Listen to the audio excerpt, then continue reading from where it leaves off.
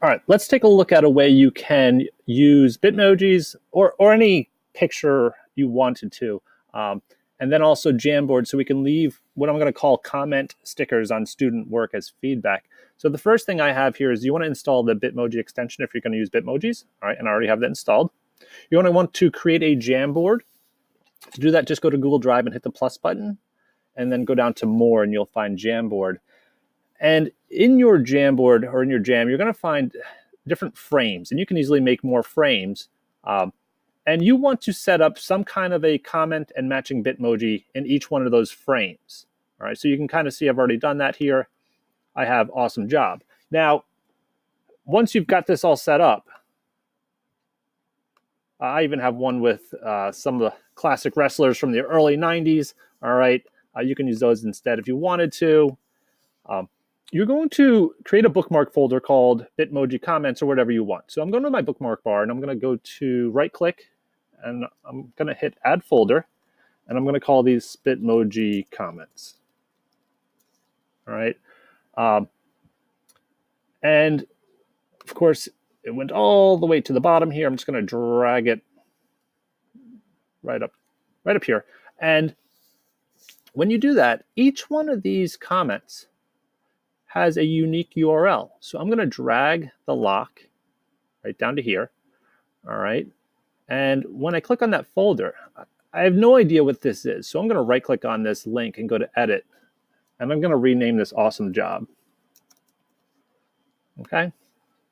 On the next one, I'm just going to go in a rinse and repeat here. I'm going to drag this one down. And this one I'm going to rename. Way to go. And then lastly, I can do this one more time. Uh, for this guy, and this one we'll call crushing it. Now, I've kind of set this up so that this comment, when I go to send it to a kid, uh, I'm just going to use my area snipping tool, and I am using a Chromebook here, so this is fairly simple. Copy it to my clipboard. I can jump into Google Classroom, and then I can paste with Control V.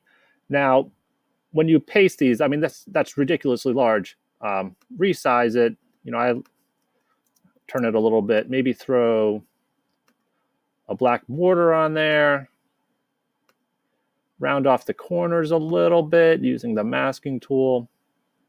All right, you can kind of make that look like a sticker, all right? And you're done. All right, but what if you wanted to personalize this? Um, and now I don't have a touch screen, which kind of makes this a, makes this a little bit more difficult. Um, I can either go back to one of these other slides, or keep in mind I could jump to my bookmarks and say, oh, I want to go to the awesome job. And what I'm going to do is I'm going to open up the Jamboard app for my phone. And when I jump onto this, I'm going to use the pen tool to write Dan. All right. And now, that's supposed to be a dot at the bottom there.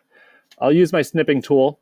And this is the piece here. When you use your snipping tool and copy this, I would right away on your device where you used to write the word Dan, I would probably hit undo and kind of undo all of that stuff so that you can put someone else's name there.